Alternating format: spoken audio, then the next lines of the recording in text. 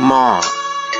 Ở cha ăn hôm nay bỏ cái qua tài bên xưa nè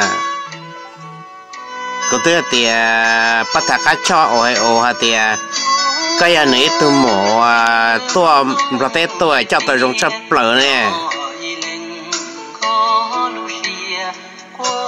nó nói chả có ừ. Chỉ bằng cái món rồi in ấy một phút ta nữa